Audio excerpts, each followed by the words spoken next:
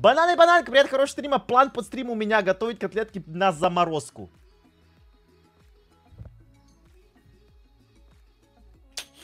Ох уж это старперческая жизнь.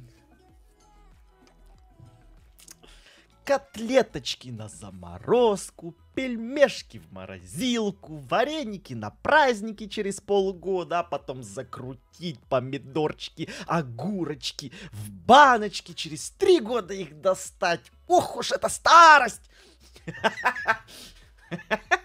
Чё-то я сегодня прям жгу! Мачо Мэн! Ну а чё, ну а чё, ну неправда! Ну типа, какие котлетки?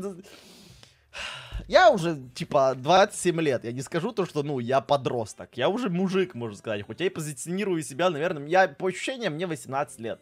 Вот честно. Но даже когда я это слышу, даже у меня это уже вот это э, бумерство какое-то. То есть я, я себя позиционирую как зумер, а вот бумер. Короче, я сегодня максимально буду язвить. У меня просто игривое э, настроение, понимаете, я сегодня. Вот. Главное, чтобы Стасик на стрим не пришла, а то с ней тоже придется заигрывать.